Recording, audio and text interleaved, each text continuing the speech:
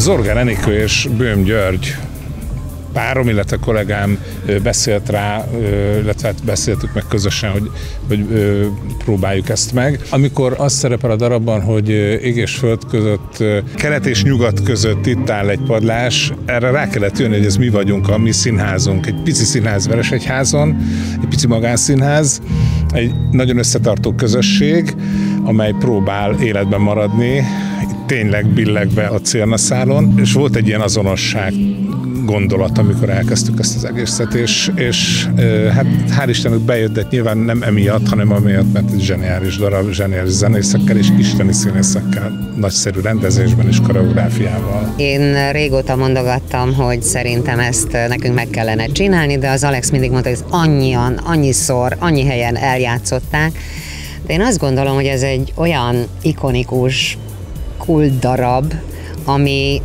akárhányszor bemutatásra kerül, mindig van nézője, és mindig is lesz nézője.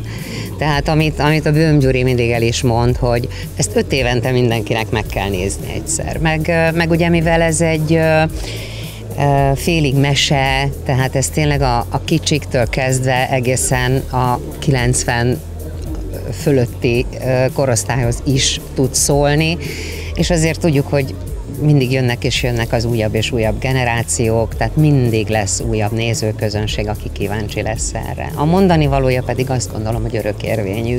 A padlás az egy az egy olyan örökértékű dolgot fogalmaz meg, egy olyan gyermeki hozzáállást a világhoz, ami azt gondolom, hogy ahogy, ahogy most áll alapvetően a világ, az, ahhoz, ahhoz ez mindig hozzátesz. És amikor egy ilyen csodálatos csapat, egy ilyen csodálatos közösség, mint a Veresegy Színház társulata, hozzányúl egy ilyen darabhoz, amikor az emberek ennyire jóban vannak egymással, vagy ennyire szeretik egymást tényleg, ténylegesen emberként, ez ebben a szakmában is amúgy ritka, amikor összeáll egy ilyen társulat.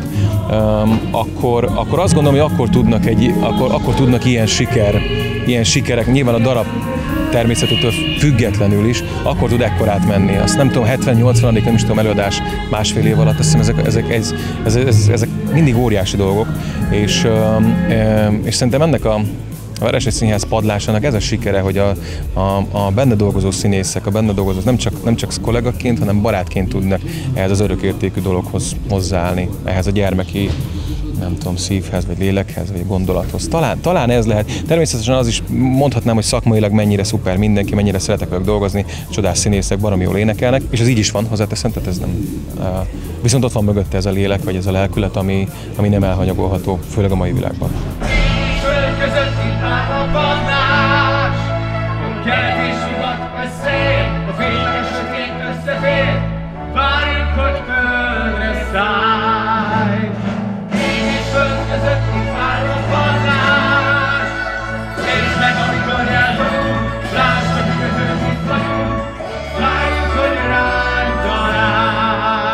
Sugárzik belőle a csapat szellem. Tehát az, hogy itt olyan emberek játszanak együtt, és olyan a társulat, hogy gyakorlatilag a színpadon kívül is ugyanúgy együtt van, és ugyanúgy szeretjük egymást, és nagyon bírjuk egymást, és ez szerintem lemegy a színpadról.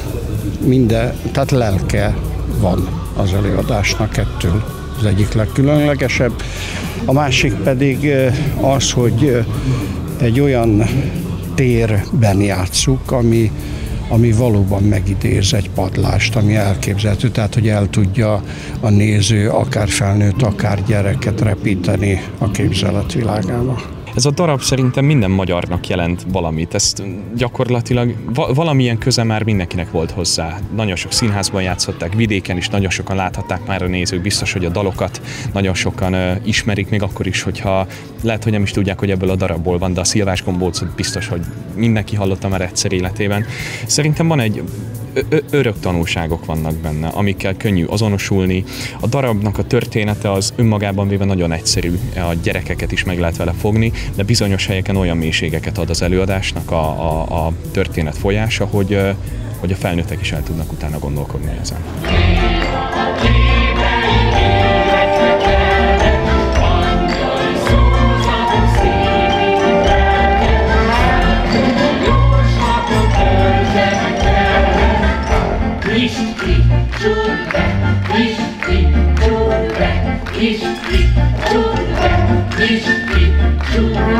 Gyakorlatilag én azt gondolom, hogy ez az előadás, maga a darab, az 50 év múlva is fog menni. Ez szerintem egy örökérvényű darab, örökérvényű az, amiről beszél, az elmúlás, a szeretet, az emlékezés, és igazából persze minden rendező, így a, a Gyuri is valami újat akart beletenni, de igazából én azt gondolom, hogy, hogy elég az, hogyha emberséget teszünk fel a színpadra, és tényleg úgy nyúlunk a darabhoz, hogy meg tudjon szólalni az, amiről ez szól.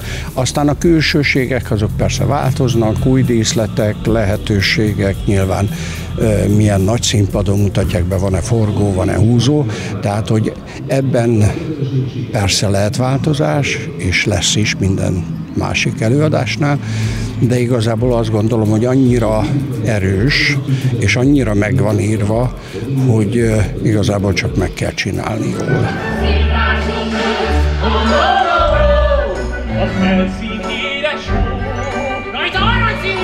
Benne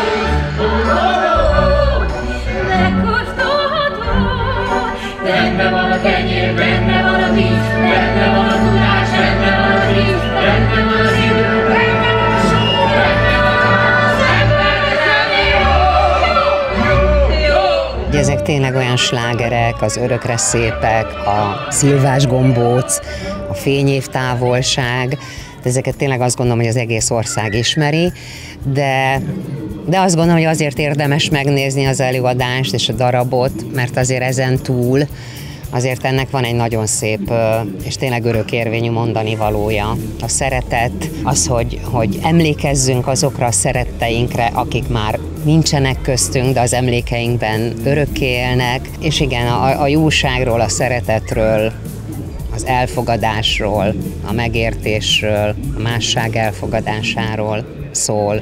A fényévtávolság az valóban egy olyan léc, ami gyakorlatilag megugorhatatlan azok után, hogy Kaszás Attila feltette oda, ahova, mert mindenkinek önkéntelenül a, ő jut eszébe is. Valóban fantasztikus előadás volt a Pík Színházas, amiben ő benne volt, és ahogy azt a dalt előadta, az nem véletlenül lett a popkultúrának is abszolút a része. Igyekszem megugrani ezt a lécet, és ezáltal kicsit más oldalról megközelíteni a dalt, saját magamból megfogalmazva, így talán az összehasonlításnak is kisebb alapot adott. Fényév távolság,